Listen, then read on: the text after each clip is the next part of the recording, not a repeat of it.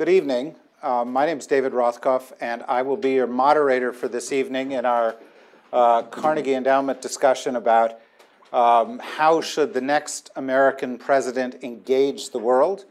This is a debate format discussion. Uh, we have a terrific group of panelists here. Uh, starting on our far right here, we have Professor John Ikenberry of Princeton. Next to him is Tom Friedman of the New York Times. Next to him is our own Jessica Mathews of the Carnegie Endowment. And beside Jessica is Bob Kagan of the Brookings Institution. And we are going to cover several sets of issues in little blocks tonight. Uh, in each case, I'm going to open up, I'm going to uh, open the discussion with a quote from one or two of the panelists. We'll then have some interaction among the panelists on the theme of the quote. Uh, and then I'll ask them a couple of questions about related issues.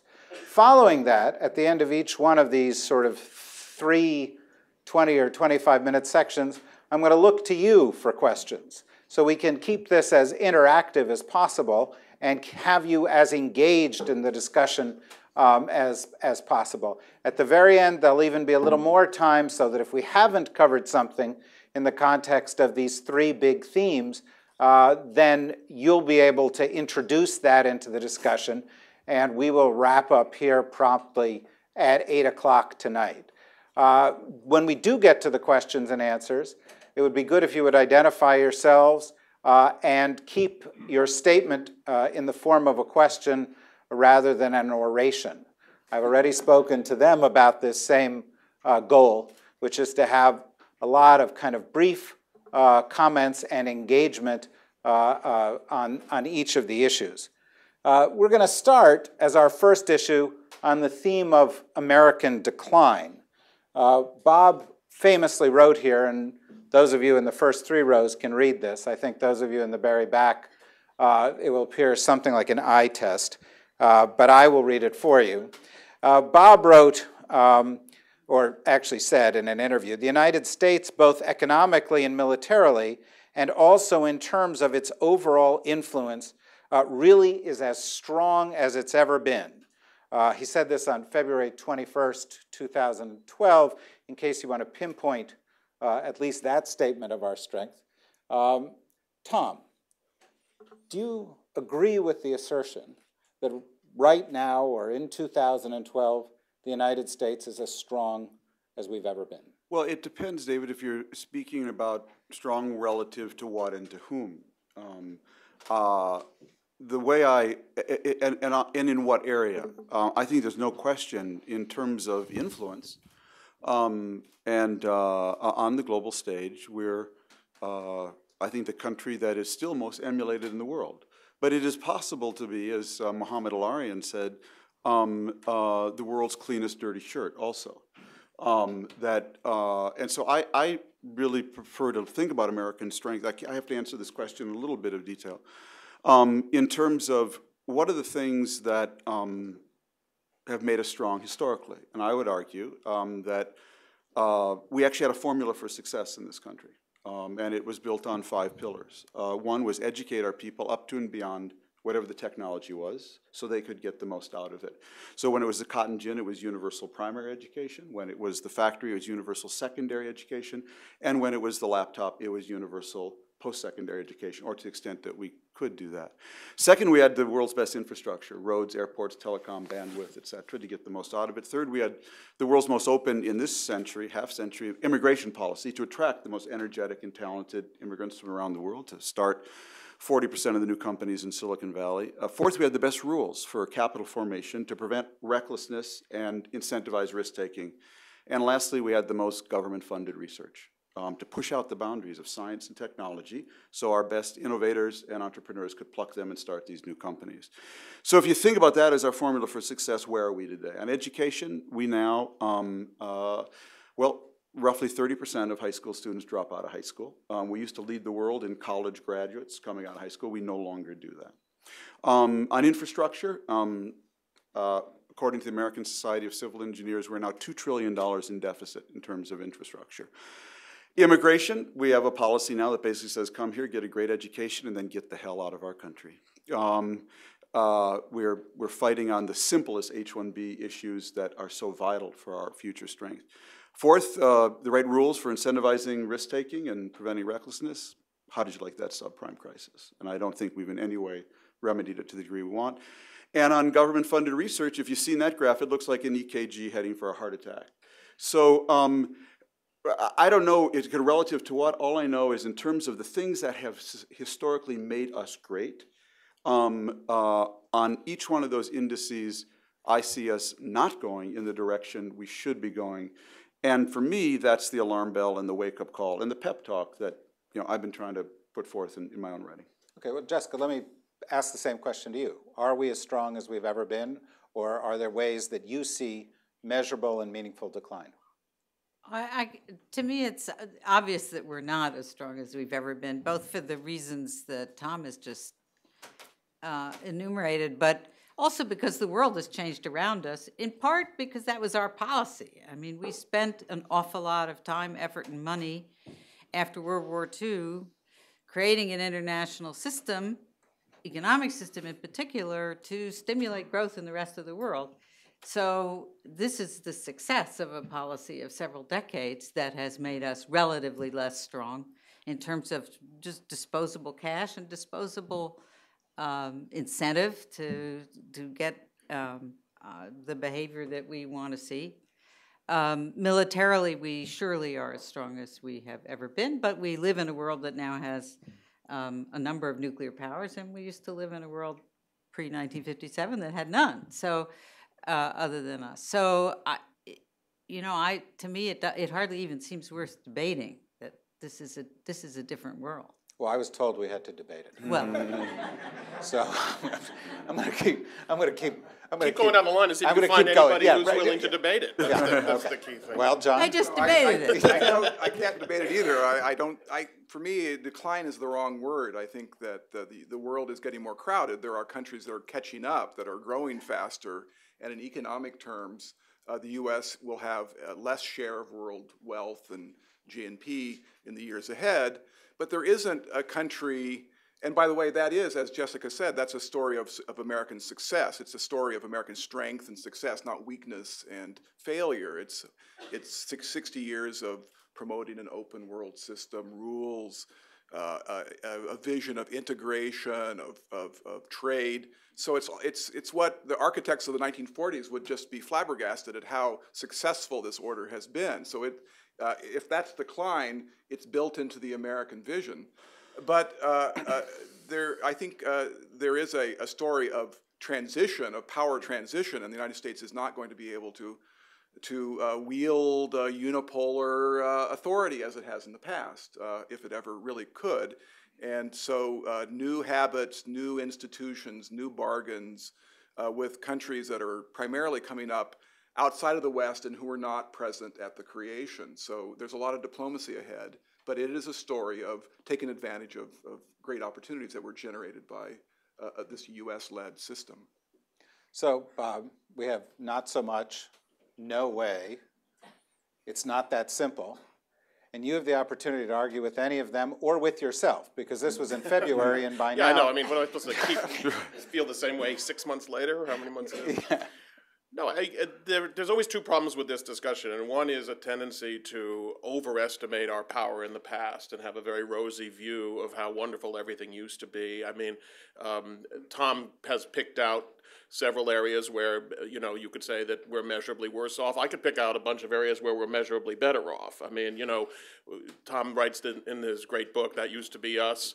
Uh, segregation also used to be us. Um, you know, uh, denying uh, massive amounts of people their rights used to be us. Not being concerned about po- the poor used to be us. And so um, I would say, looking historically, there have been periods when we've been on various different measures better than we are now. There have also been measures when, we've been worse than we are now. So it's a mixed picture, is what I would say. But the real question I think we're addressing, I shouldn't say the real question because I think all the things that Tom talks about are important, and I'm and I'm all for the pep talk. I, I agree with the pep talk.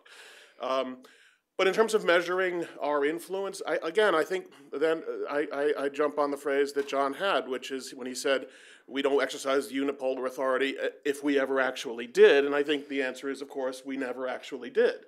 Um, we, we spent the Cold War dealing with a Soviet Union that uh, wielded a certain amount of influence, had troops to control half of Europe. Um, I think our situation is uh, un- unquestionably better now uh, than it was during that period in terms of um, in terms of our strategic situation, in terms of, of wielding overall influence. And, and, I think the real way to look at this, and John also uh, talked about that, is when I measure American success and American influence, I, I, measure it against the capacity to uphold a certain kind of world order, which the United States uh, has upheld for, for many decades since the end of the Second World War. Uh, and a lot of the changes that people focus on, in my view, don't affect that world order in a negative way. And this is the point that Jessica made. The rise of Brazil, the rise of India, um, just like the rise of Germany and Japan, are not, don't count against uh, that world order and therefore don't count against the United States and its ability to influence things. Our goal, yes, is to, is to create a world order where we don't have to have uh, necessarily as much uh, effort in terms of getting other people to do things.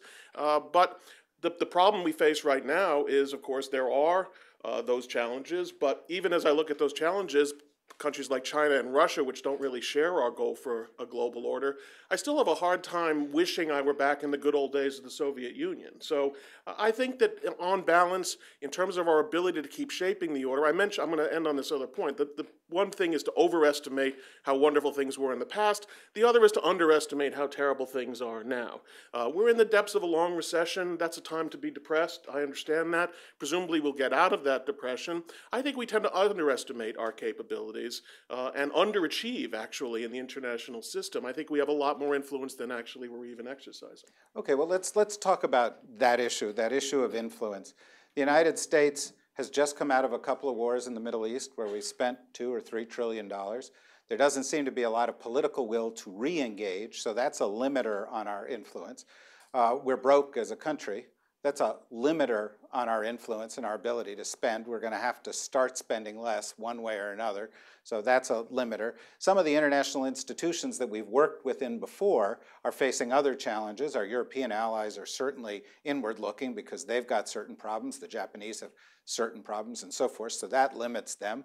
Uh, while NATO went outside its boundaries and started uh, uh, broadening its mandate by going into Afghanistan, uh, you even have today in the paper stories that they're leaving sooner, they're not happy with it, and so forth.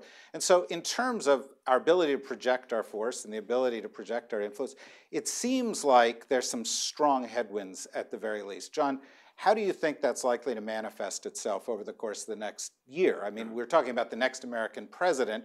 How do you think he combats this, or is he going to be capable of combating this perception of declining American influence? Well, I think one thing that has to happen is that the next president needs to re articulate the rationale for the United States to provide leadership, even under conditions where there are, are economic and other headwinds in, in, in, front of the United States. Uh, that uh, the United States still is a critical player. It will have to be a kind of vision of internationalism that is, uh, if you will, on the sly and on the cheap. That is to say, new ways that the United States can make a difference uh, uh without necessarily uh, putting Marshall plans to work at, in every region of the world.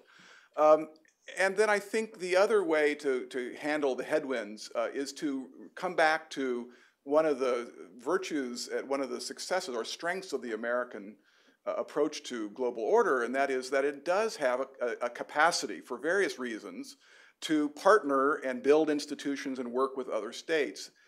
The, uh, the, the contrast with China is remarkable. The US has 55 or more uh, security partners of various sorts, from A to Z in terms of the, the, the nature of the commitment. China has one or two. The United States has somehow found it a kind of natural way to operate through international institutions, through partnerships, client states, uh, all sorts of different mechanisms that can generate cooperation. So, in this next phase of American history, it seems like that's an asset that we should uh, seize upon. Uh, and to, some people call it burden sharing, some people call it uh, uh, uh, redistributing authority for global governance, but it's all there, and, and it's part of leadership. And uh, in more demanding times, it seems like that is, uh, that is a strength the United States can rely on. Okay, well, Jessica, let's let's look at this in a constructive way rather than you know wringing our hands about decline or debating whether decline has taken place. Again, the next president takes office in January, uh, faces all the problems that Tom enumerated at home, plus fiscal cliff and taxamageddon and dysfunctional Congress and all of this kind of thing, are there concrete steps that this president can take as the country's principal foreign policy actor to reverse perceptions or to counter perceptions that the United States is in decline in terms of its global influence? Well, the most important one by far is attempting to heal the rifts domestically. I mean, we should have all, in, in answer to your first question, said what I think is the biggest change, more than the, the five areas Tom talked about, that weakens us, which is that we have never been, I think, as politically polarized and divided.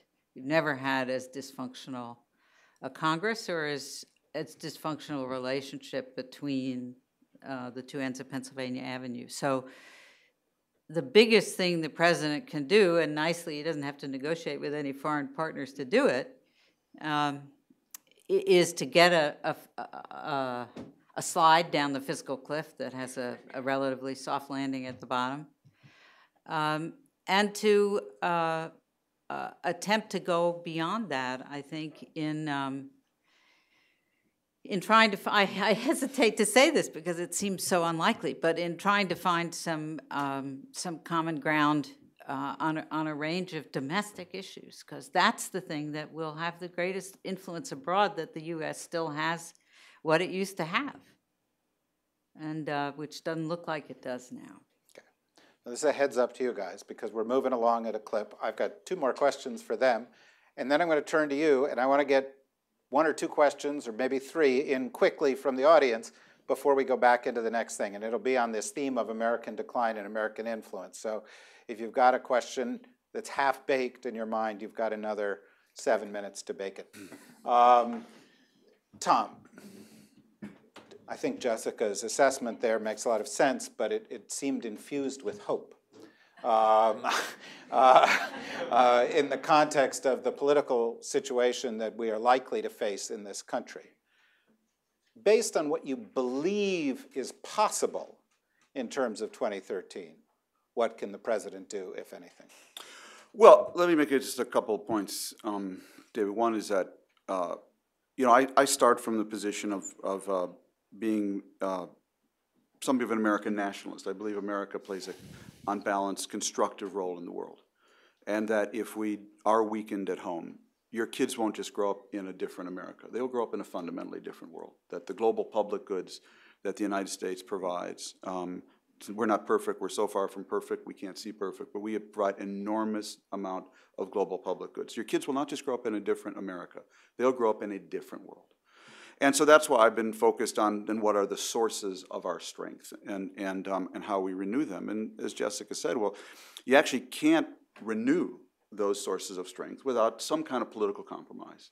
Now, I would argue that we're, um, we're actually uh, two decisions, two big decisions, away from a melt up uh, uh, in the American economy. That if we did get a decision on a grand bargain with a kind of 10 year time frame of uh, how we would manage the cuts in spending and, um, uh, and tax increases and investments, because we need to do, do, all three. We need to tax, we need to cut, and we need to invest in the sources of our strength.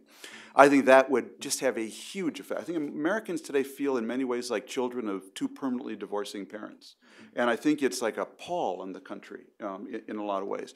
So I think that would be huge. And second, if we got a grand bargain on energy, how to exploit this bounty of natural gas in particular in an environmentally safe and sustainable way on a national basis. I think those two together would have a huge um, impact. So the question is, how close are we to that? And um, you know, I have a saying about the Middle East there that maybe applies to American politics, which is in the Middle East, all important politics happens the morning after the morning after.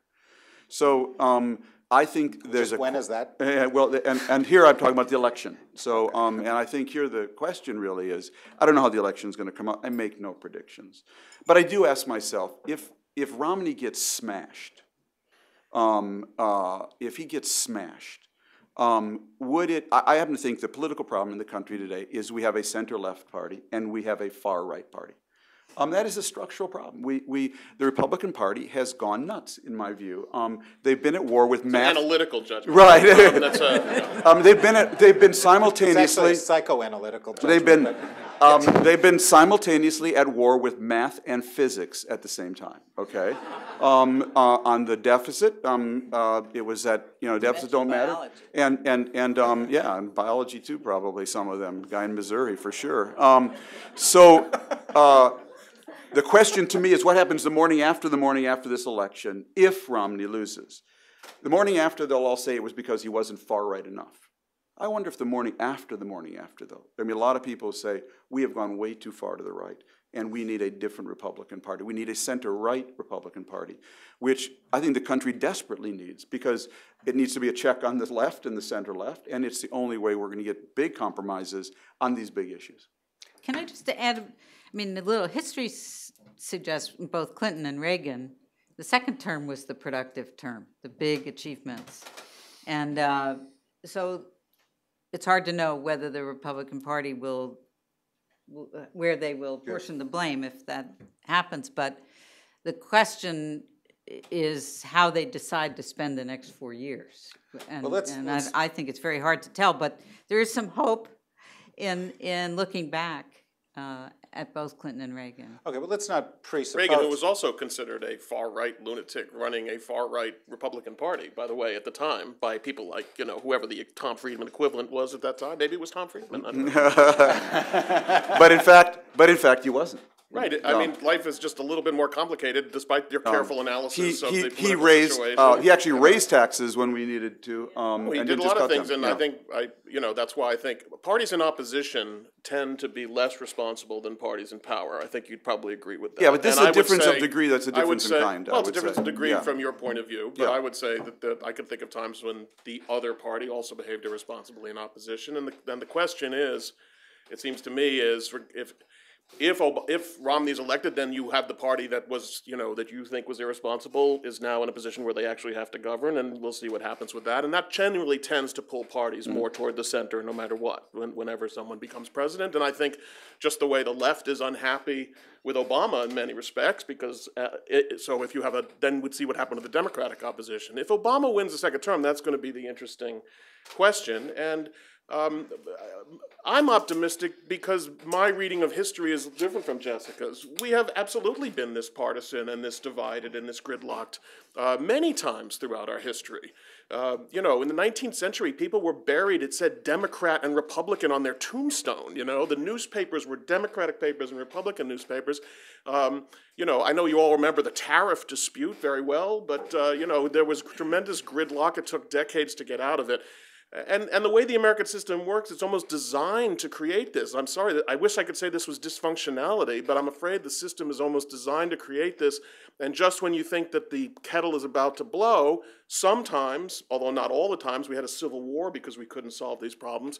Uh, but some, but but often uh, there is a, a, a coming together, and I actually am optimistic uh, that we'll see uh, greater sanity in dealing with these issues in the in the, in the Let- years to come. Let, let me ask Can I you- say one thing to, to follow up with that, which is I think there is, you know, we may also have had a very unusual period of a Cold War, which really pushed both parties to the center. And now that that, you know, has been loosened basically because of the end of the Cold War and the way we want it, um, that we may, this is the normal, as Bob said. I, I'm ready to, to uh, concede that. a normal. We just, But yeah. we- we Well, also We just have- happened to grow, Well, a lot me- of us came of ask you a age question, during the Cold we've- War. We've, everybody has made an assumption here or tipped their hat to an assumption of, of one particular outcome in the election, which is the president gets reelected second term. Now, you mentioned briefly there was a possibility Romney might be elected. Let's just talk about that a second. Um, theoretically, um, uh, the, the, if if It's a good thing I'm here. You yeah, know? no, no. It is, and I, and, and I think, and I think everybody agrees with that. But, but um, in terms of this issue of American influence, do you think a President Romney would handle things, do things, and have an impact on American influence that was really different from what a President Obama would do? Well, I mean, un- unfortunately, for answering this question, my basic thesis is that there's a tremendous degree of continuity at all times between uh, presidents. That we already saw, I would say, and Jessica and I have a running art discussion about this. I was going to say argument, but it's not. friendly. Disagreement? Disagreement, which has begun, I think, probably around January 2009. But I would say that many people are, have been struck. Uh, even the New York Times writes about this at the continuity between Obama and, and George W. Bush, for that matter. So uh, any president, in my view, only changes things, you know, 10 degrees one way, 10 degrees the other. Um, there will be some issues. Obviously, you know, there's no question that um, that the Romney takes a different view on how to deal with Russia, um, and you'll probably see a different policy toward Russia. On Iran, I think it's a harder call, for instance. And one thing we haven't spoken about, and I think it, um, maybe you were going to get to it eventually, is um, Well, since- we're only twenty-five minutes into this. so- well, okay, uh, but I mean, you know, since I consider it to be a not unreasonable possibility, regardless of who is in the White House, that the United States might wind up, whether out of a desire because it has no choice, engaging in a military action in Iran. I mean, what is that going to do to all these consensuses about spending, about whether the American people are interested in foreign policy, and the, even issues like the defense budget? And that's why uh, it's, it's, it's issues like that and the ones that we don't even know about that make me wary of the, all these straight line projections we're making in the future based on where, what things look like right now. Any of you guys want to address that point? Which point? I mean, point about he made. Iran. se- Well, he- well, pick on any of his points, but I, I meant the point about Iran and the likelihood that we would actually enter into some kind of military action there, uh, but but regardless of who wins. Please start. I see, right now it's not clear to me. Question from the audience? Yes, sir, front row. Microphone approaching you from the left. Governor Romney has said he wants to create 12 million jobs during his term. That's 250,000 jobs a month. In the past, the U.S. has always been an exporter, and that was what created jobs. How do you see his promise of creating 12 million jobs in four years? Unlikely. Okay, that's, that's one view, unlikely. Does anybody want to elaborate on that, or? Look, you know, I, I think we're in a completely different, um, I- you know, job market. Um, we're, you know, I wrote about this myself a, a few weeks ago during the convention, which is, you know, Bill Clinton's line back in 1992 was, um, if you work hard and play by the rules, um, you should expect to be in the American middle class. I mean, that's a condensation of what he said, but that's basically what he's been saying. And Obama has repeated it. And um, I just don't think that's uh, that is NA. I think that's no longer applicable. I think you have to work harder, study harder, uh, learn and relearn faster, and maybe reinvent the rules. Um, and that is because we are in a in a very different work environment where technology is making uh, older jobs uh, outdated faster, and wonderfully spinning off new jobs. But each of those new jobs require more education. And so um, I, I just think that if we're going to, by the way, I think America has a huge advantage in this world uh, because it's, I, I think the world is really going to be divided going forward between high imagination enabling countries and low imagination enabling countries. And we are the highest imagination enabling country in the world. If you just have the spark of an idea now, if you just have the spark of an idea, you can go to Delta in Taiwan, they'll design this for you. You skip over to Hangzhou, Alibaba, they'll get you a cheap Chinese manufacturer for this. Jump over to Amazon.com, Jeff Bezos will do your fulfillment and delivery and gift wrap it for Christmas. Craigslist will get you an accountant, and Freelancer.com will get you your logo. They're all commodities except this. And there's no country that does this better. The problem with this, though, is that um, the days where Ford will move to your town with 25,000 person factory are over. Okay, that factory is now 2,500 people, maybe, and a lot of robots. And you know the old joke the modern factory, of the future is going to be two employees, a man and a dog.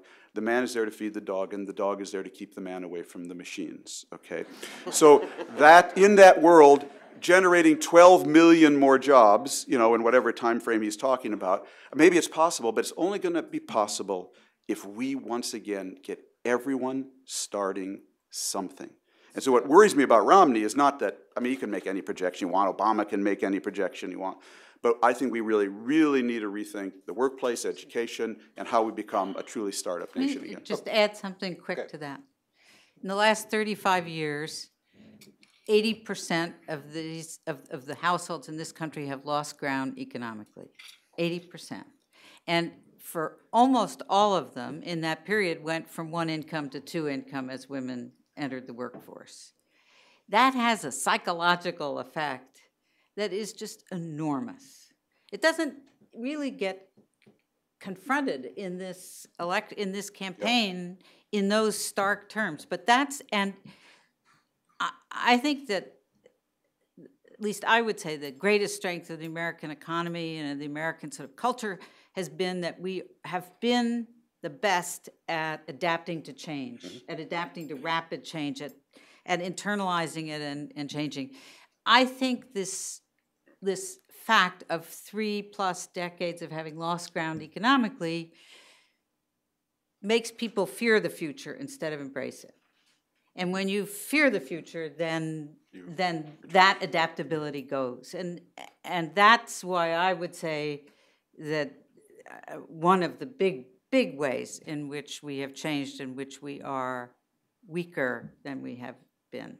I've got just one little uh, uh, uh, final thought on that. I, one thing that has surprised me in this last cycle of, of, recession and Great Recession is that there hasn't been more talk of protectionism, and and that gives me a little hope that that uh, both parties realize that uh, the kind of 1930s solution to retraction of your economy uh, is really uh, worse than, than, than what you would otherwise do. And but isn't it true that you have a Republican candidate right now running on a very hard line against China and taking tough stand against China? It's actually a, a switch, and that you actually have the Republican Party taking a tougher line on trade Clinton did too when he ran, and that's that's the pattern typically. Uh, and uh, there may be some specific uh, gravamen there that that need to be pursued, but the broader uh, political system is not uh, generating incentives for either political party to to use this as a big issue. And I think uh, that that puts us in a position to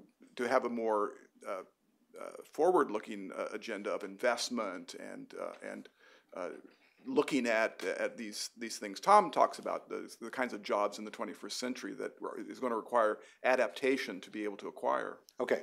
We're going to have one more quick question here, and I'll, I'll, get to the back of the room ultimately, but we'll have one more quick question here before we return to the cycle. Go ahead, sir, briefly. Uh, Peter Shutley from Brookings. One of the key components of power, international power, is the perception of power. And there have been some recent polls, mainly Europe, mainly China, that leaders in those countries perceive our power to be less.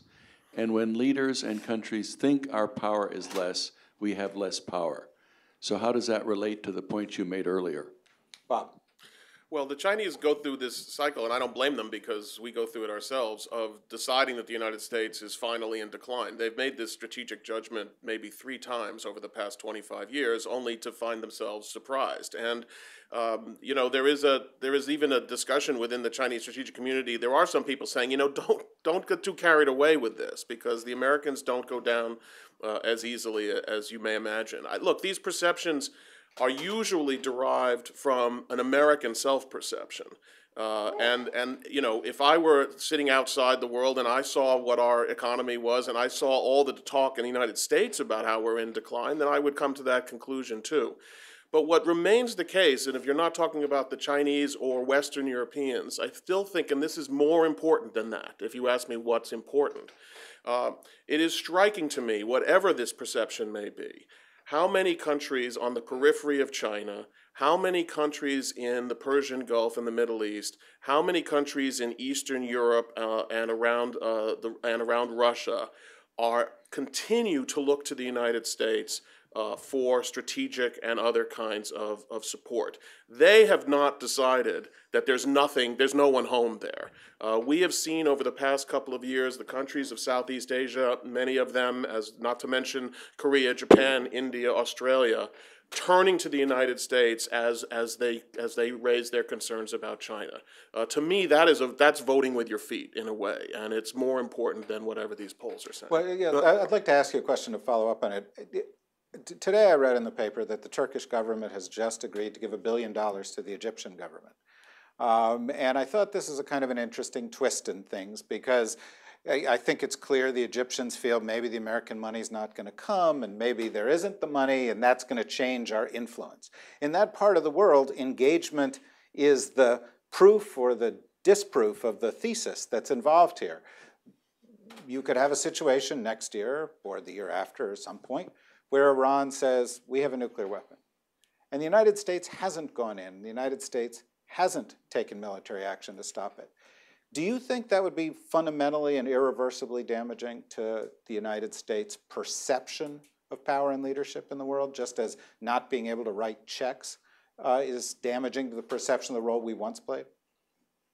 That one's just too hypothetical for me, Dave. I mean, seriously, I just, I mean, I, I, it- there's so many steps in there that I can't well, it's just quite one. think it If the I mean- United States doesn't stop Iran from getting a nuclear weapon, does that send a message that we are incapable of, of, of, of controlling outcomes in a way that some people think that we might have in the past through military action? Well, my own feeling is that um, I think there's a, still a, a reasonable chance that uh, a bargain will be struck with Iran. And so um, uh, I think it will require a credible threat of force. I don't think you'll get the Iranians' attention without that, and not from Israel, but from the United States. But I think that um, there is still uh, the possibility of a deal. And so I don't know what happens after. I, I mean, I, you know, again, I, I think that um, when I look at the world, I just came from China, um, and uh, I think China's headed for a really difficult decade. You know, um, I, mean, I was there when Xi Jinping disappeared. I like to not actually use the term China. I actually like to say one fifth of humanity. The next president of one fifth of humanity disappeared for two weeks, and nobody could even say he had a cold. Okay, that's unnerving. Okay, um, you know what is China today? It's an authoritarian state with 500 million microbloggers. All right, so Xi Jinping, I think, is going to have to make the biggest political and economic reforms in China for the first time of any Chinese leader in a real two-way conversation with his people. And so I, I, I where, where Bob and I think disagrees um, is that I don't doubt at all that the world loves us, needs us, and wants us. Um, most of the world, more than ever. You open the American embassy visa line in any country in the world, and the, it'll stretch for miles. Um, my focus is simply making sure we're doing the right things that keep us there and can deliver on that promise. The great thing America has that China and Russia don't have is the power of emulation. They need transaction or bullying. We actually can lead through emulation. Let me take a shot at Iran. I don't know how you did that segue. uh, I just, It was clear he was going there no matter what the I was, was I was going there because I haven't figured out Iran yet, so you can ask somebody else. I think the, um, uh, I think the answer is that it depends how it happens and what the, the surrounding context of a possible deal is. I- think the president has made on, it may be politically smart, but I think it's substantively a terrible mistake to say that containment is impossible and un, unacceptable, uh, because I don't think it is. Um, on, you know, in truth, right? Um, that means that there is, and there also, as we know from the discussion of all this, these silly red line discussions, um, there is quite possibly a, an Iranian nuclear capability that never becomes weaponized, right? Um, which probably the most likely outcome. Uh, so, and a deal could be embedded that accepts that in a potentially non-injured non-proliferation regime. I was about to say stronger, but it's probably not going to be stronger, but it could be non-injured. Um, and and in those conditions, the answer to your question, and, and the U.S. would certainly have been the lead actor in making all that come together. So, are we seen as um, inevitably weaker if Iran has a nuclear capability that is not weaponized? The answer is no. Okay. Let's go to the next slide here that talks about the international order because it's relevant to what Jessica uh, just said. Deftly, she provided us with a segue. We're talking about the liberal international order. We're talking about international institutions. John uh, has written the most serious threat to American national security today is not a specific enemy, but the erosion of the institutional foundations of the global order that the United States has commanded for half a century. So he sees the institutions of the global order as being essential to our strength. Jessica has written, Our fractured, gridlocked politics is having a major impact abroad on other countries' perceptions of U.S. influence and power, and of course, on the desirability of the U.S. example.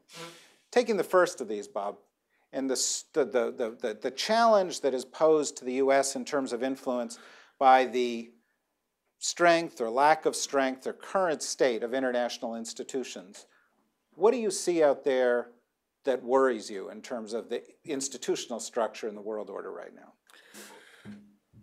Well, John and I have a, I would say, subtle argument about this in the sense that my view is that uh, this is no place for subtle. I know, and I'm going to try to I'm going to try to move past it. Try to move past it as quickly as possible. Don't do subtle, Bob. Uh, but but you know, I have John believes these institutions can exist independent of American power ultimately uh, if if they're set up correctly, and I I doubt I believe they are generally a function of American power. And and what I but I do worry, and here's where I don't have a subtle disagreement with John. I do worry about uh, the liberal world order uh, and whether the, the, the, some of the things that uphold that order are in fact in a state of erosion. And I think one of the things that we may be looking at, which is sort of not the picture that anyone has really grappled with, is what if the United States is not in decline, but the institutions of liberal order are?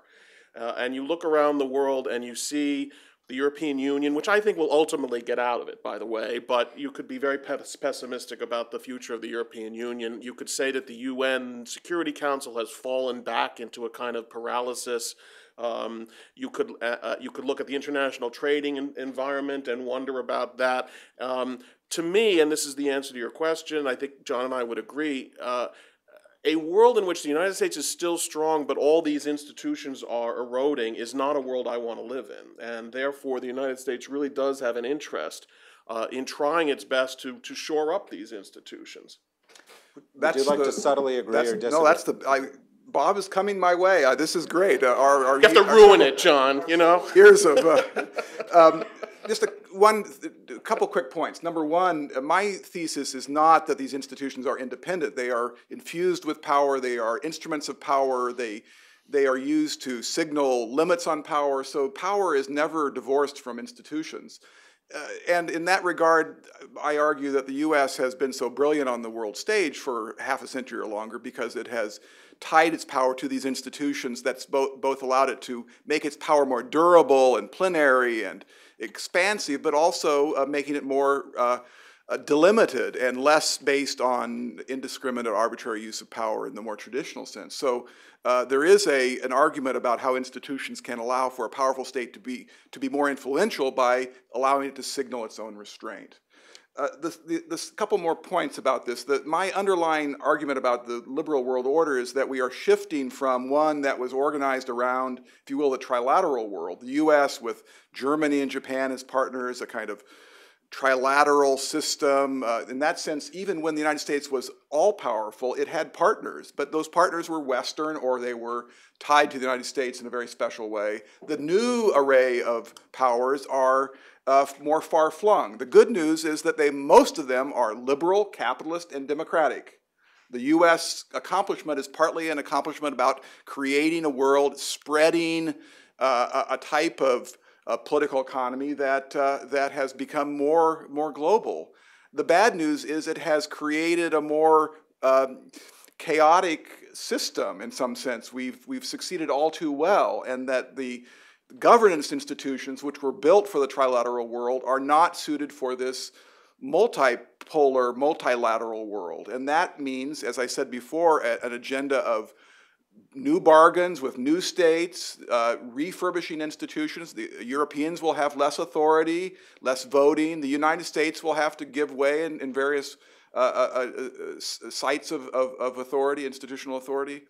Uh, so that is what I think is the, the, the future of renegotiating the liberal world order. But again, the, the fundamental point is that most of the countries rising up uh, are rising up precisely because they're in it. They want to be in it. Uh, The, the, the trade that comes from openness and the rules that provide rising states protections against precisely what we were talking about before arbitrary, indiscriminate power. So uh, I think there are new constituencies for liberal order, but they, they have to be brought to the table and they have to be given uh, respect and, and the kind of level playing field that uh, you associate with liberal international order. Well, there, there, there are two dimensions to this that strike me as potentially worrisome, and I'd like to frame them, and then Jessica and Tom, I'd like you to respond to them, okay?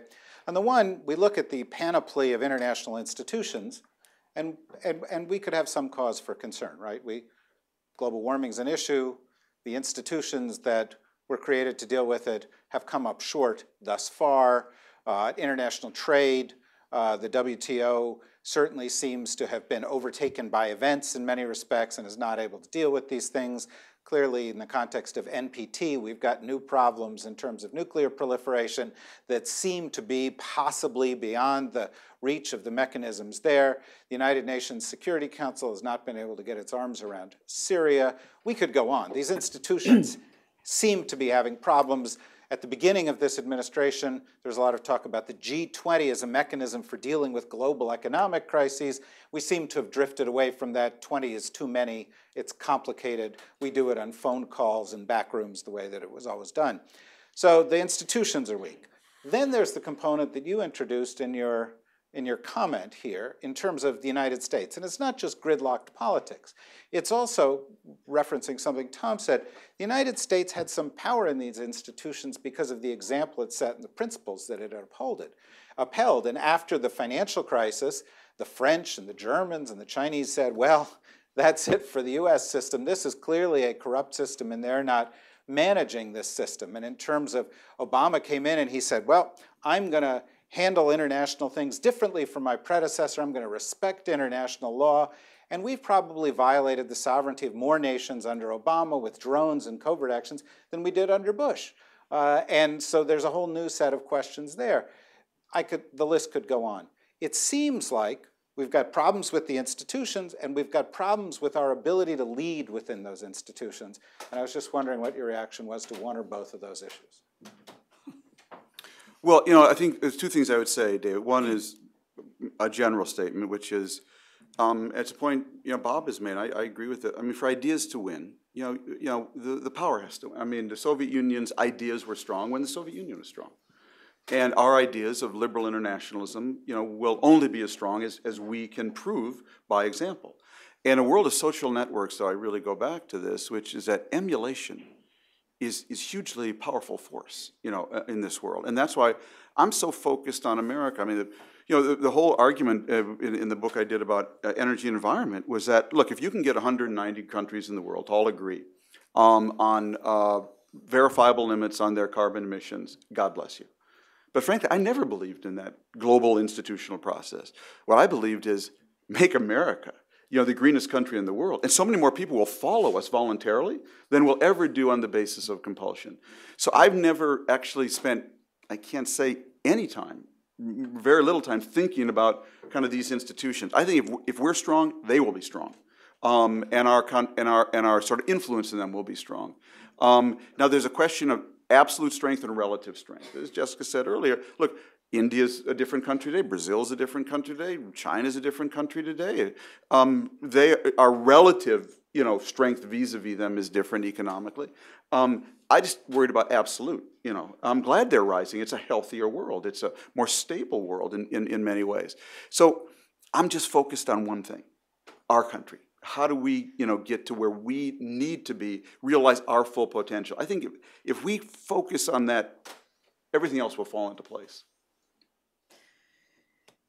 We got an awful lot up in the air um, here. I, I, uh, I mean, first, it's worth saying that you know, in the aftermath of the end of the Cold War, we had a decade where we really pulled away from the international system rather dramatically, and we underestimated how willing the rest of the world was to act without us. And a whole number of rather meaningful things were done.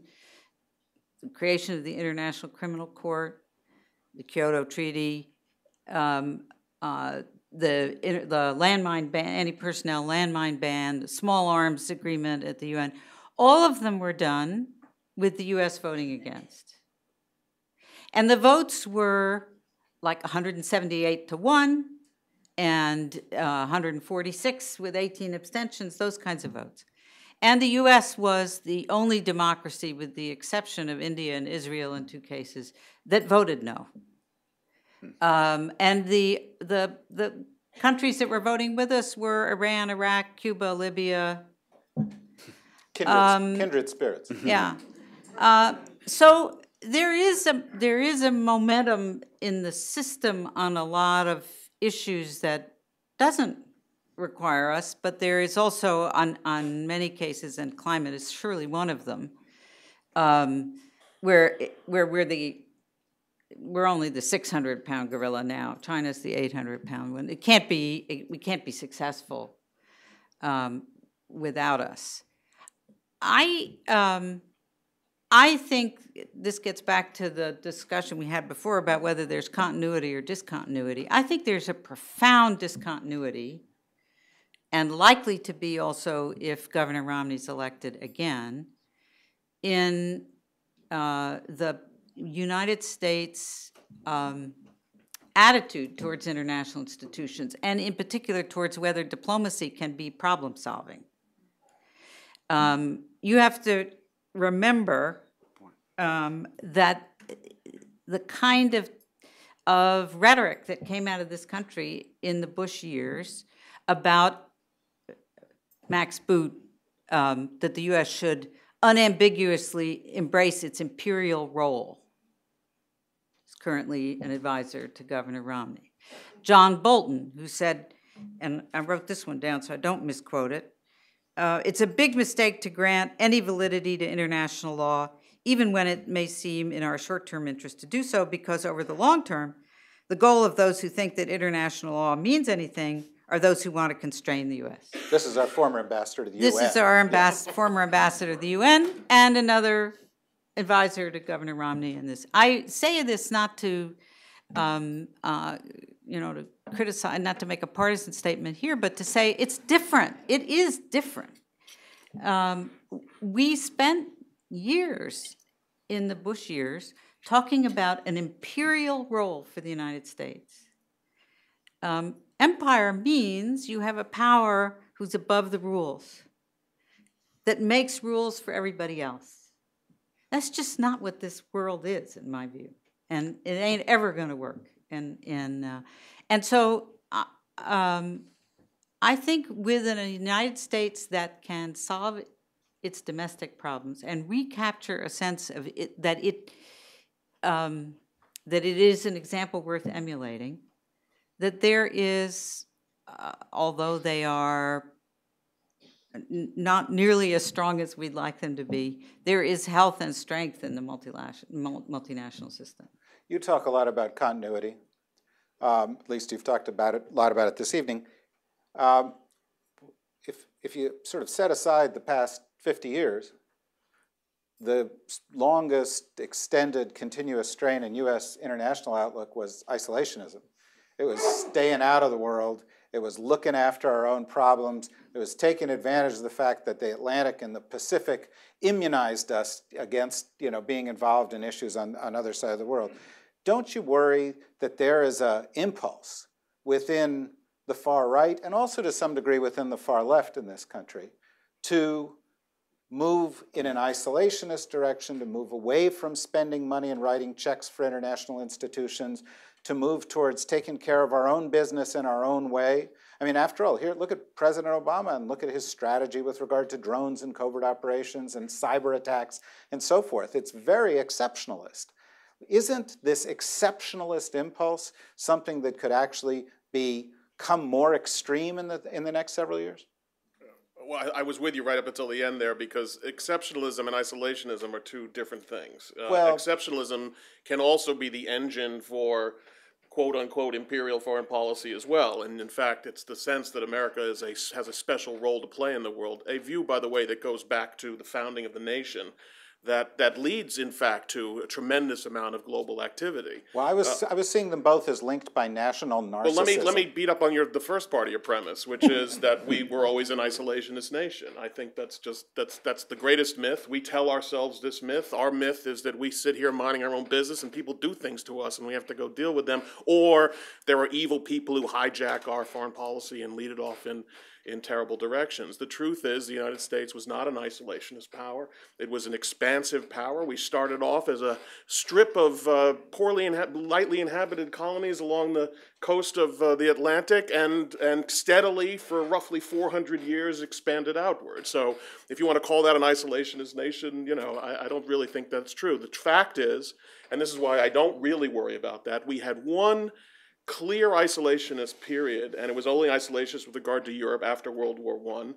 And thankfully, we learned a lesson of that. But we were also isolationist before World War One. No, we weren't, before, sure we were. I mean, we were.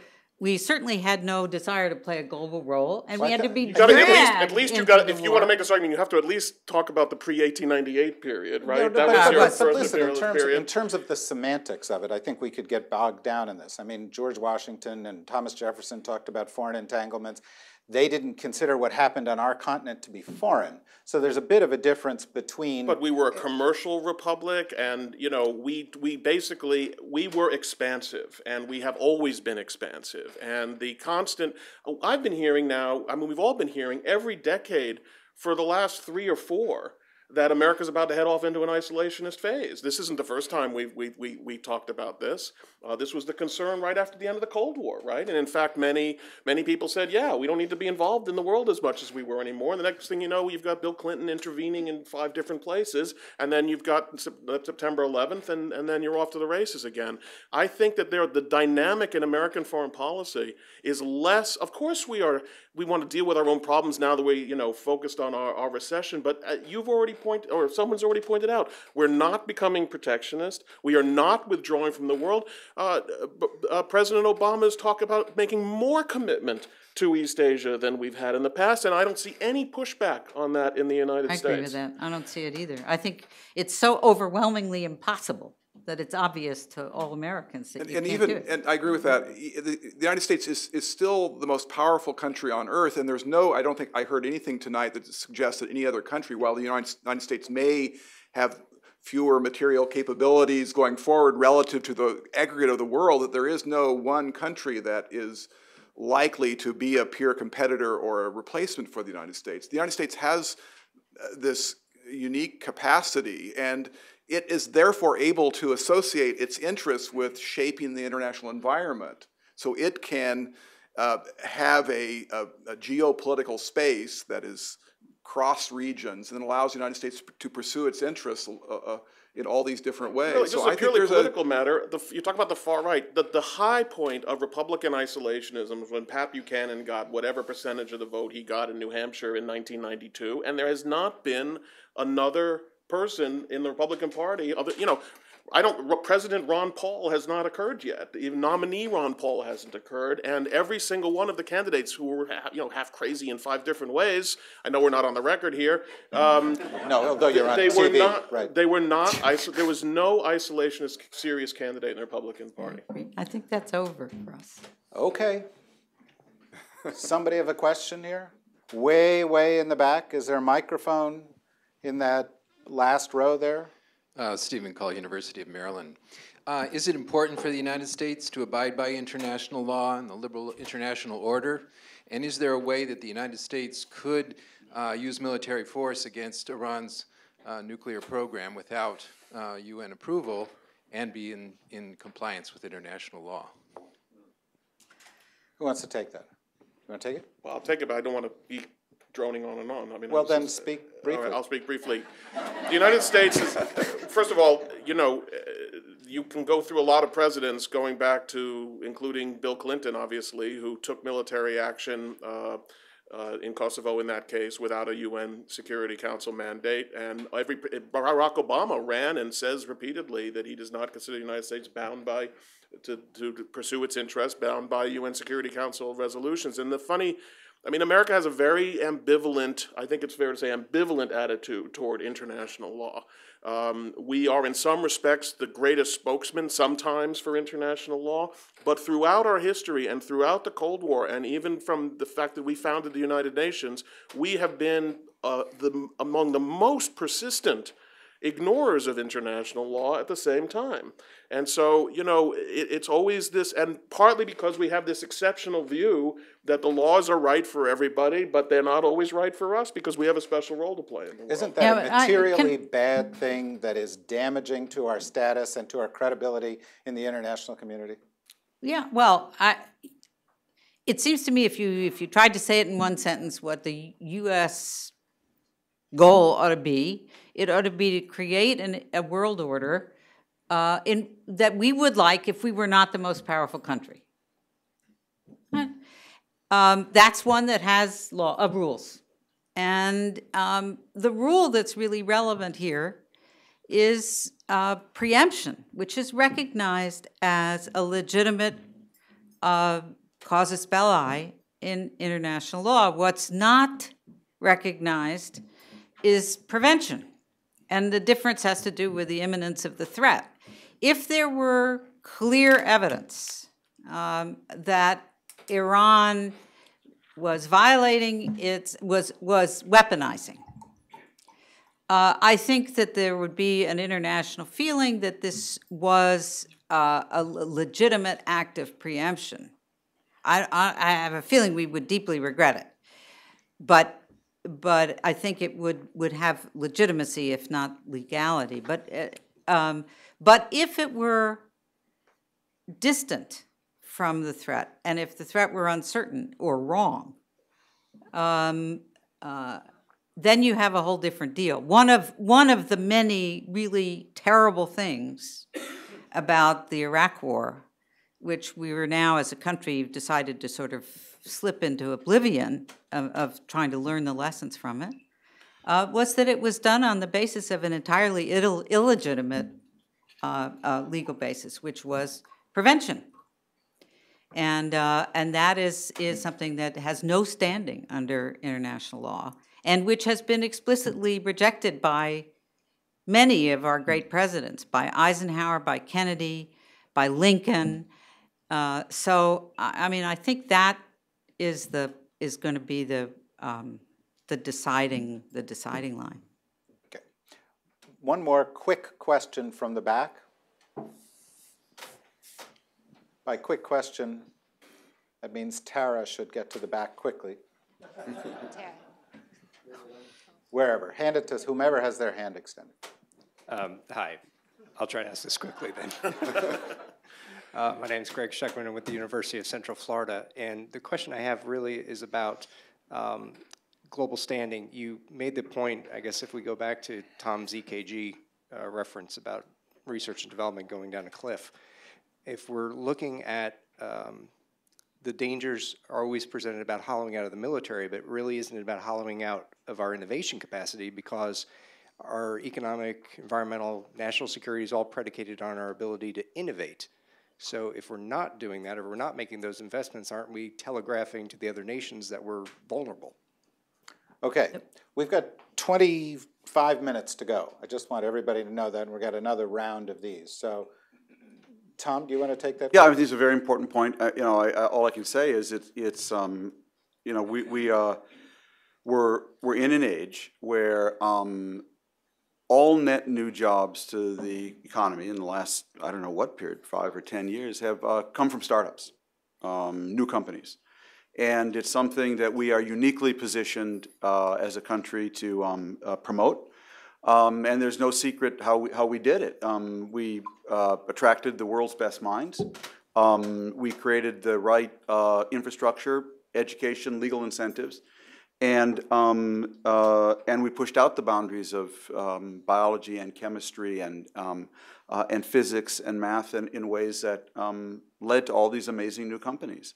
I, I still think it'll happen because I think uh, one of the great strengths of our country it's so flexible that it's still full of people who who just didn't get the word. Um, they didn't get the word that China's going to eat our breakfast, Germany's going to eat our lunch, and so they just go out and start stuff. And that's that's the greatest thing about our country. But we need to be doing this at a scale now, uh, because of the the nature of work. Um, that I just don't think we we've been to before. I was talking to a guy yesterday who was just finished with this point who who was told me he's building a new hotel, and it was for one of the big chains that's going to kind of these low end market hotels, and um, not not low end, you know, just more simple uh, kind of structures and operations. And I actually stayed in one. I stayed at the Hyatt at, at uh, Salt Lake City Airport this summer. And um, the theory of these hotels is the front desk is actually also the Starbucks and uh, the breakfast counter. And the same person who checks you in gets you your coffee and gives you your Danish. And so that's just a simple, everyone is looking to do more things with fewer people. And therefore, instead of 25 thousand person factory. You know, we need 50 people creating jobs for 20. We need 20 creating jobs for 30. We need 30 creating jobs for 40. And I, I think it is going to require a really different approach to the economy, different set of incentives, laws, different approach to education. We kind of do man for, manpower development over here, and then we have education department here, and the two aren't connected. We have to completely merge them. So it, it, in an ideal world, that's what the election would be about. It would be sort of Romney's view of how you promote more startups versus Obama's. Um, it's not, but you know, sooner or later, that's where we're going to have to go to. All right, let's go to the last group of questions here because it's salient to that. Uh, it talks about new actors and the rise of China. Um, it, you might also characterize it as the emergence of new competitors, new rivals, uh, both in terms of economics and power. Tom wrote uh, in his last book China is getting the most out of its authoritarianism. By contrast, we Americans are getting only 50% of the potential benefits from our first rate democratic system. And John wrote, It may be possible for China to overtake the United States alone, but it is much less likely that China will ever manage to overtake the Western order. Um, I'd like to go to you, John, on that and then open this up. What do you mean by that? Well, I, I've always thought that the discussion of uh, U.S. Chinese relations missed the fact that China is uh, not just facing the United States in a dyadic relationship, but is facing a larger system, which we've been talking about tonight. And that that larger system is huge, and it's uh, it has liberal characteristics. It has realist uh, geopolitical characteristics because it's filled with alliances as well, not just institutions of trade and so forth. And it's it's uh, constituted of uh, uh, by by a, a, a, world of, of liberal democracies. and so China faces a much more formidable international order than any other rising state in world history has. If you think of a rising state looking up, past rising states over the modern era have faced uh, one military state or several, but not a kind of thick global system that is, in effect, the OECD world. And so uh, I think China is not going to be able to do to the world what uh, the United States had the opportunity to do uh, in the 20th century several times, which is to say, uh, really recreate international order. Uh, it also helps that the United States came to power in, uh, during the, uh, the, the, nuclear era, where uh, there likely will not be a great power of war. And war in the past has always been that, that ingredient that has demolished the old order and paved the way for a rising state to do something new. China is not going to be able to play that game. Uh, nor will China, I think, have the incentives to do that, because as we've suggested a little bit tonight, China is at least halfway in this order. It is a United Nations Security Council permanent member, it's at the WTO, uh, it is embedded even increasingly within a regional economy and, and regional institutions in Asia. So um, China faces an international order that's easy to join and very hard to overturn. And so I don't think we're going to have a repeat of what is the classic problem of world politics, the power transition problem, which of course was most dramatically revealed at the, uh, in the last century with, with the rise of Germany. So I, I think uh, the terms of rise and transition are different than in the past. All right, well, can, Jessica. I, can I ask him a question? Of course. I mean, it is it personal or is it have no. to do with I mean, usually rising powers also get a more expansive definition of their vital interests. Yes. So it may, the world order may be easy to join, but it also doesn't have a lot of empty space in it. That's right, but it's important for China.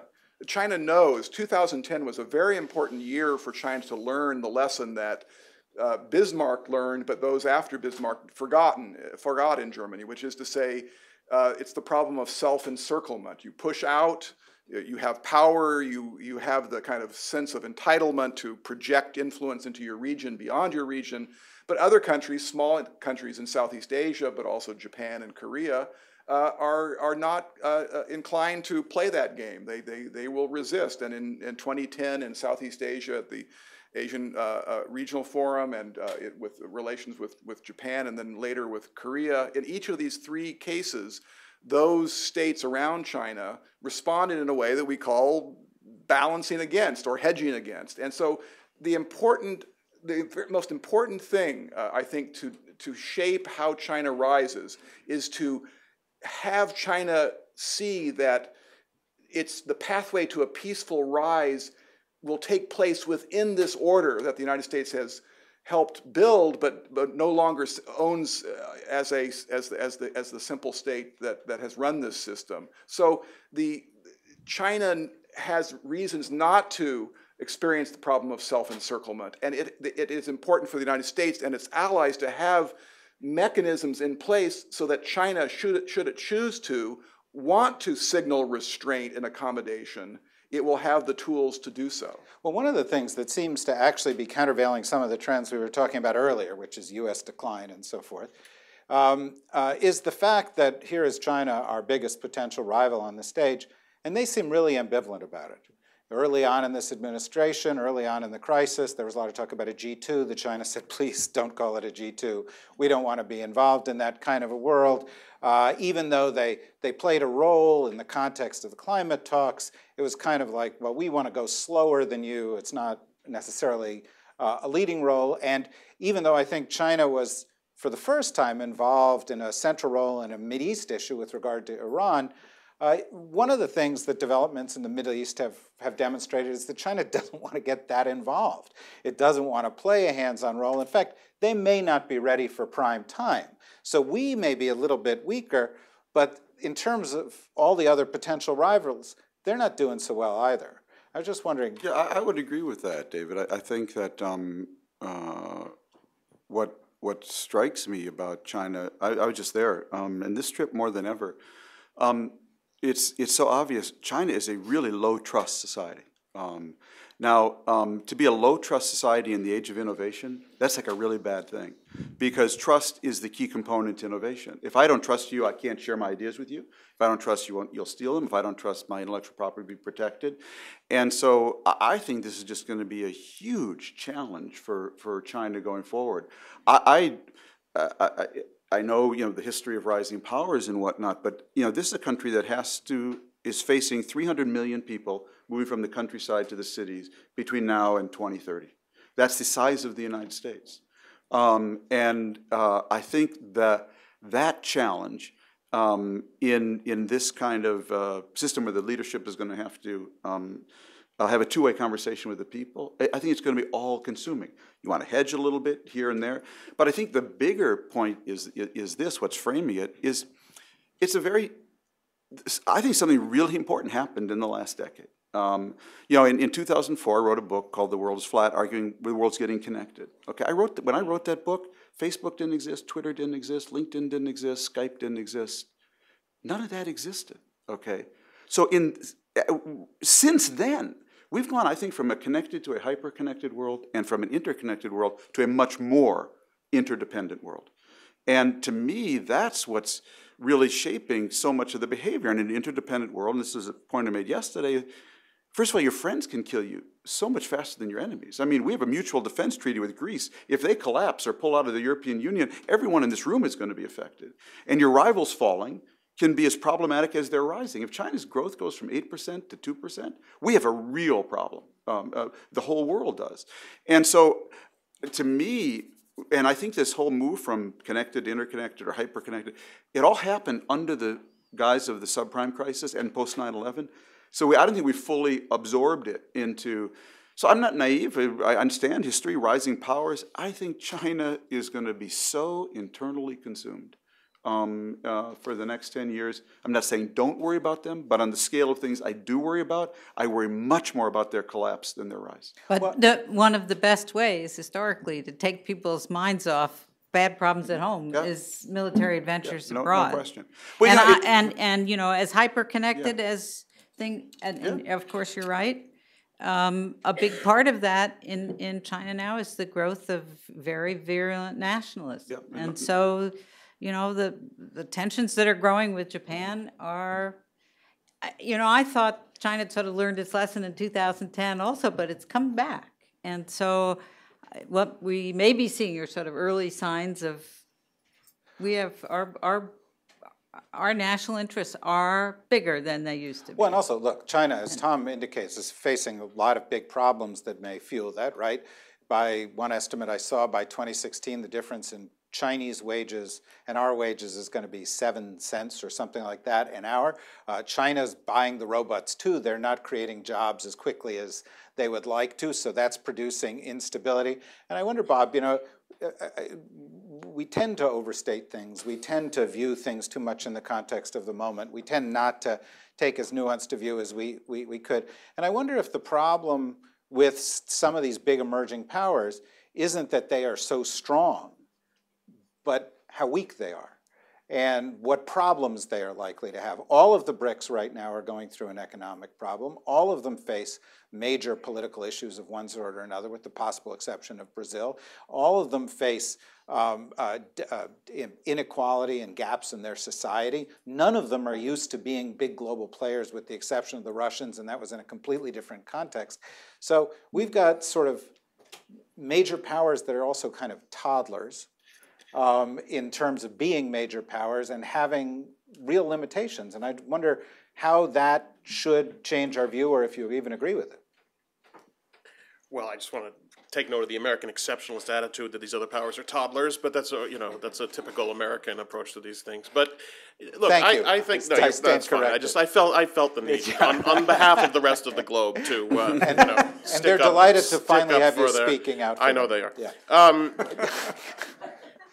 look, the, the, the problem is, oh, uh, first of all, I agree that these countries all have more problems than we were saying three years ago when it was obvious that the BRICS were going to take over and the United States was in decline. So, you know, shockingly enough, uh, they have had difficulties. But when you're talking about geopolitics, and here I agree with, with both points that, that Jessica made, when you talk about, let's take China for instance, you know, China is in a race between the most rational approach to what their current situation is and then maybe a less rational approach. There's a 21st century China, there's a 19th century China that thinks territory is what matters. You know, that who flies the flag over Taipei is what's important. You know, that is a 19th century attitude.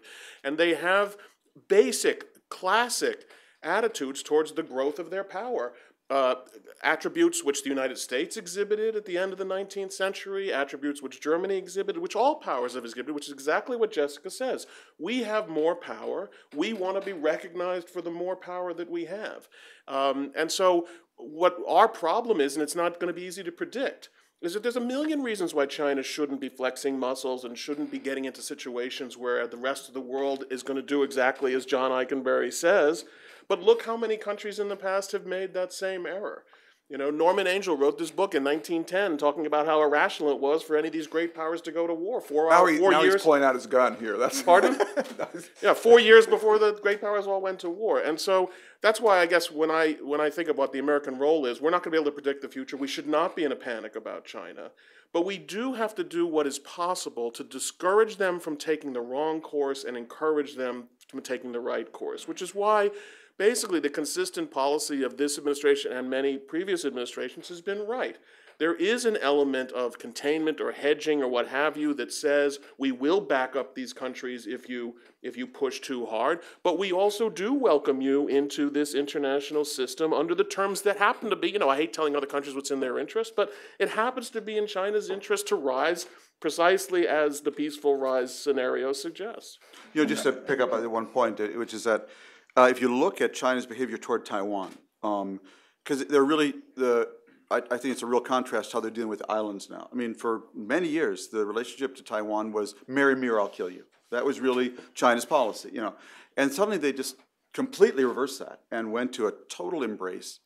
Now it, it's amazing. I mean, Taiwan. I mean, they've basically absorbed Taiwan, and so I think there's a tension in China. You have one school that wants to bully and bluster, and um, but we also saw them really reverse course too. So um, I think either one is is a possibility. Yeah, I think this is one area where I, I think the, the political parties, the, the foreign policy operators in the two political parties mostly agree that we need to engage China and we also need to be providing counterweights and reassure our allies and creating uh, the kind of geopolitical space and weight in the region so that certain options are not available to, to China. So I think, but it does mean engaging China, uh, showing uh, China where a peaceful rise pathway might, might exist, uh, but but hedge and uh, and and keep our allies uh, who who want us there, but don't. And this is where both sides, China not wanting to trigger self-encirclement, at least those who are most prudent, and on the American side, we have a incentive not to be too crusade oriented because our allies in Southeast Asia don't want us to pursue a kind of old style 19th century containment policy. So not too, not too hot, not too cold. It seems to me that on the American side, there is an incentive to, to be, uh, be, be, be uh, prudent and, and firm, but not, uh, but not uh, try to turn this into a new Cold War. And on the, the Chinese side, they clearly have a, an incentive to reassure their neighbors, uh, who are their trade partners, but who are all tied uh, to the United States for security. But I think it's worth adding, and I, I, I agree with everything that was just said that there is a profound well of mistrust between the United States and China on sort of basic concepts and what we're after when we talk about arms control or what uh, interpreting the motive behind our actions and vice versa. And so, in addition to not making them the enemy, we've got a we've got a huge job, difficult job in trying to chip away at this mistrust and build a a clearer foundation of where we understand each other when we um, interact. We've only got a couple of minutes. I want to pose one last question and get a quick answer from each one of you to the question. Seems to me that the candidate who wins presidential elections typically is the most optimistic candidate. It's a candidate who can portray a vision of the United States that is positive and plausible and that they know a way to get there.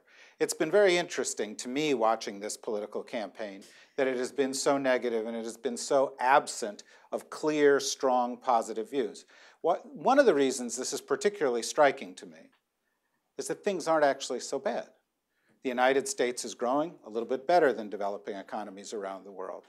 The BRICS are struggling, other places are struggling. We've got some decent growth. We had a little bit better manufacturing numbers today than we had you know, a week ago. Uh, unemployment is falling a little bit. We've still got problems, but we've also got some amazing opportunities one of the biggest geopolitical developments uh, in terms of significance of the past decade is the new American energy paradigm and the fact that there is available here vast reserves of energy, that we're making breakthroughs also in terms of alternative energy, that energy independence or something akin to it, or at least more energy independence is, is a possibility.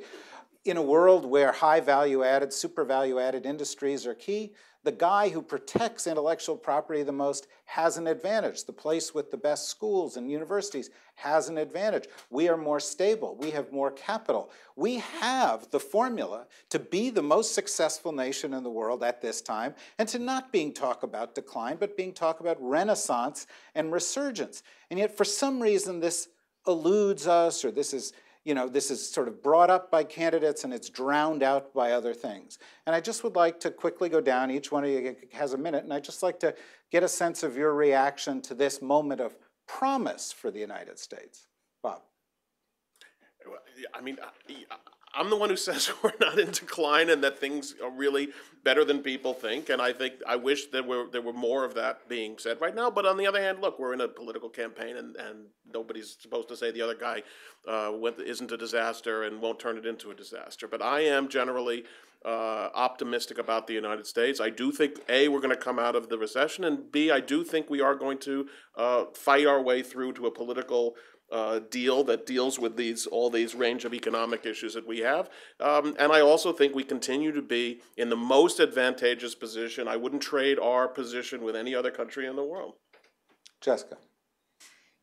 I there's none of the things you enumerated that I would disagree with, but But go ahead anyway. uh, no, I think you know those are all true.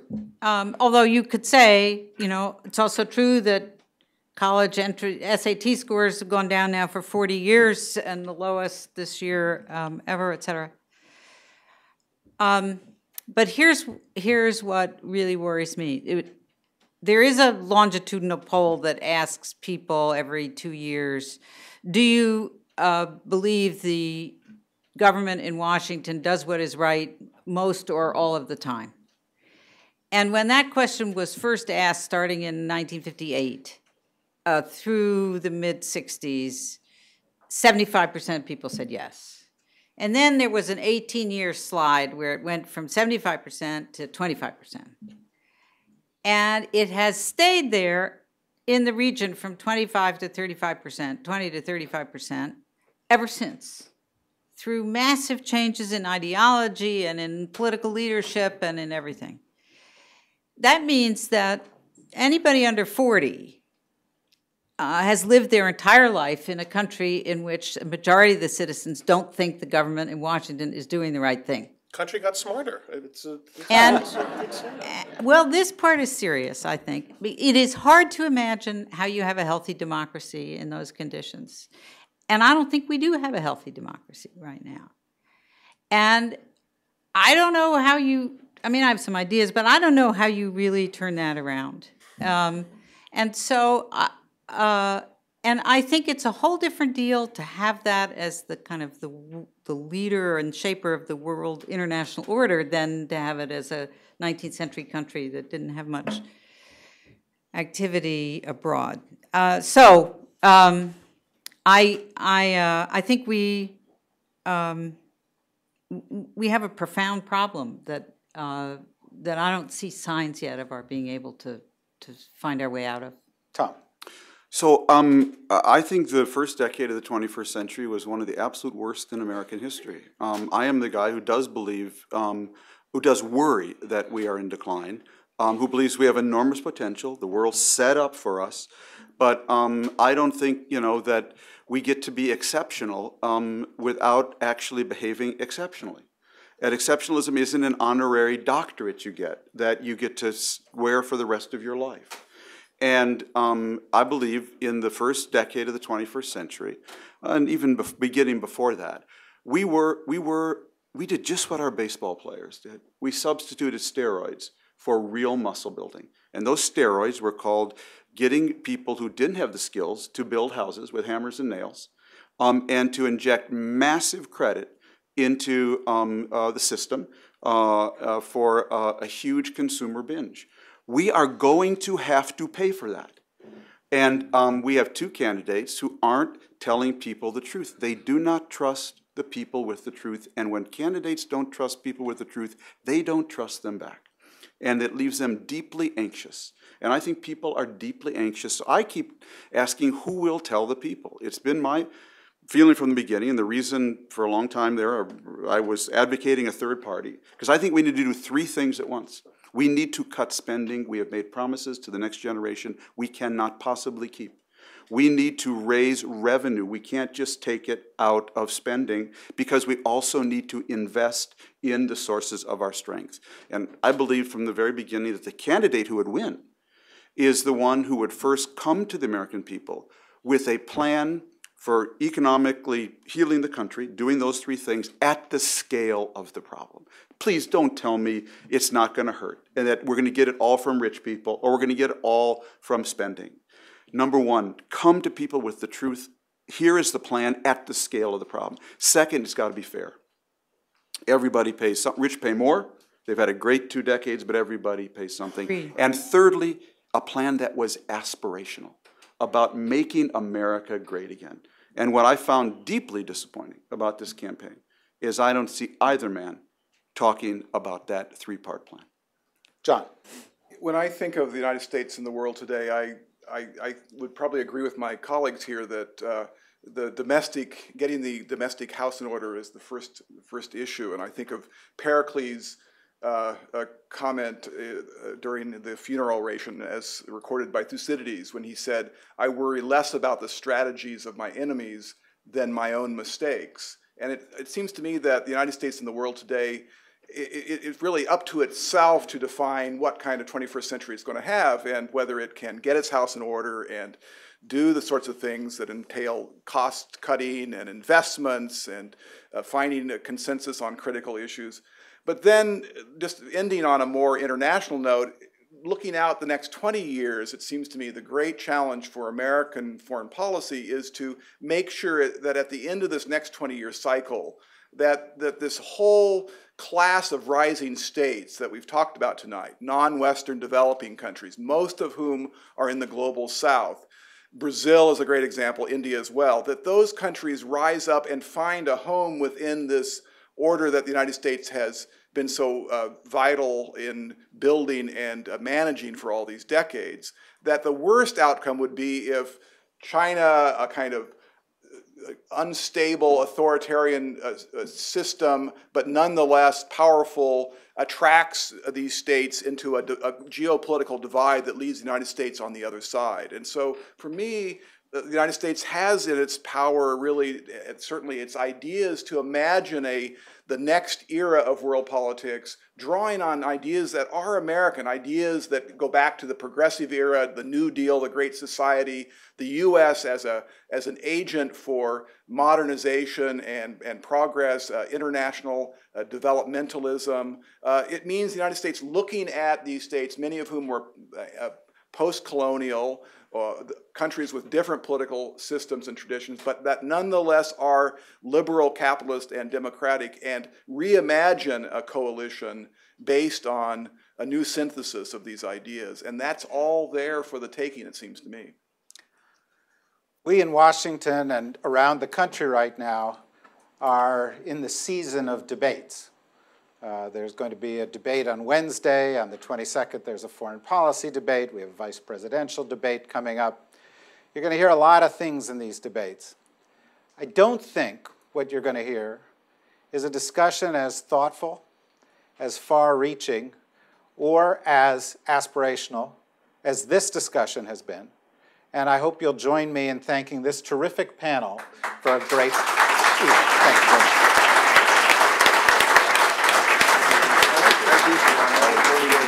Vice versa.